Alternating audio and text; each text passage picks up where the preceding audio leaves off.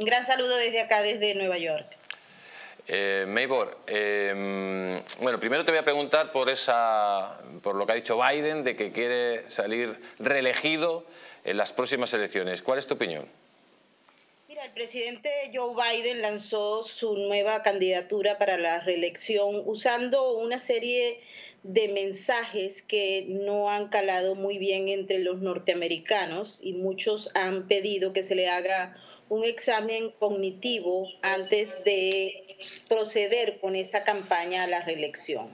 También ha llamado la atención que en el mensaje señaló directamente que quería toda el alma de los norteamericanos. Y eso desdice mucho de la política de la Casa Blanca en relación a los principios y valores de la mayoría del pueblo norteamericano, que cree en la familia, que cree en Dios particularmente y que no está de acuerdo con la agenda que se está llevando a cabo desde la Casa Blanca, aunque por supuesto hay una parte de la población que sí aplaude que el presidente Joe Biden se lance, independientemente de que tenga eh, un problema cognitivo, visual, inmediatamente cuando habla, muchos expertos han notado ese problema, un problema de senilidad fuerte y perceptible y un gran nivel de debilidad y fragilidad en, en el marco de las políticas ah, no solamente internas, sino a nivel de la geopolítica mundial.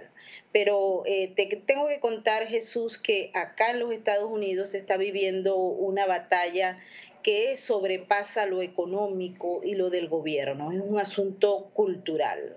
En esta última semana que pasó, eh, pues hay varios indicios de lo que ha sido prácticamente el incremento de los medios y de los grupos económicos a favor de la agenda de Joe Biden. Está, por ejemplo, el conductor, presentador de una de las cadenas más importantes de los Estados Unidos que eh, se percibía como conservadora, fue echado, fue despedido porque tenía unas posturas que iban más o menos en concordancia con el grueso de los norteamericanos que mantienen sus principios y valores a favor de la familia, de la creencia en Dios y de la economía de mercado. Y por supuesto en contra de las políticas globalistas. Estamos hablando de Tucker Carlson. Fue echado el día lunes ah, de esta semana de Fox News. Inmediatamente al día siguiente observamos que el Emporio, donde Fox es una de las ah, medios más importantes, pero también está el New York Post y otras ah, grandes cadenas de medios,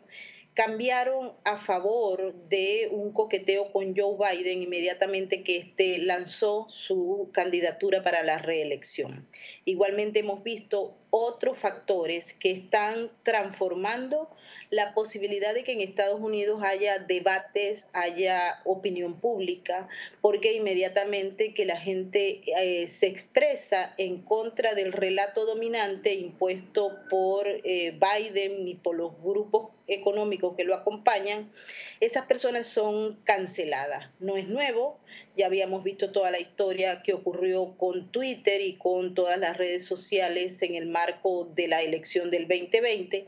pero para la elección 2024 se está observando que esto, en lugar de mejorar, se está agudizando y se observa un panorama en el que un oficialismo va devastando todo aquello que se le opone, incluyendo grupos económicos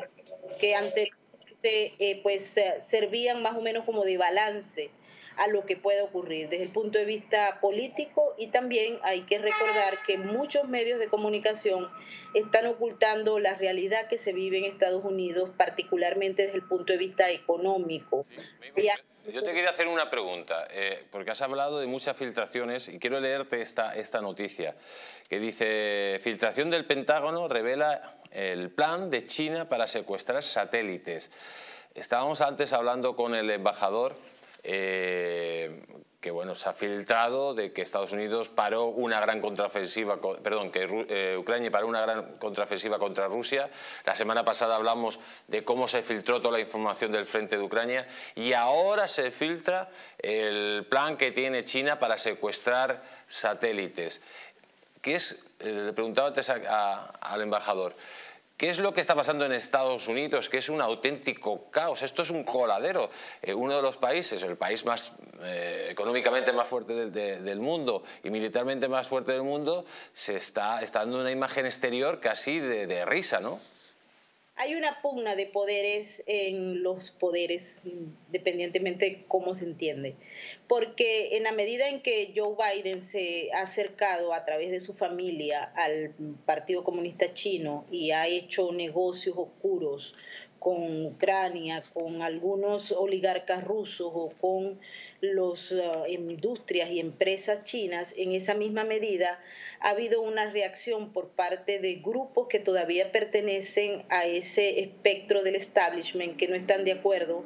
con lo que está ocurriendo. Y por eso hay filtraciones. Por ejemplo, el caso de esos miles de papeles que se filtraron del Pentágono y cuyo responsable, según el establishment, es un chico de 21 años que al parecer no tenía acceso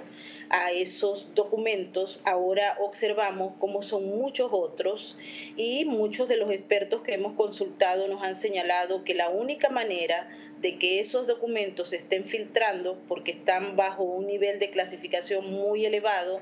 con lo cual pues son pocas las personas que tienen acceso a ellos, se debe a que existe una pugna interna entre los que desean que mm, abrirle el espacio para que China se convierta, si se quiere, en la primera potencia mundial a corto plazo, o al menos eso es lo que ellos están planteando, y por otro lado está el hecho de que hay un grupo allí interno, no reconocido, silente, que está dispuesto a desmontar lo que está haciendo Joe Biden para evitar que los Estados Unidos continúen siendo una potencia mundial. Es decir, están pensándose en que la figura de Joe Biden y su gobierno están trabajando en lugar de agrandar los intereses de los Estados Unidos,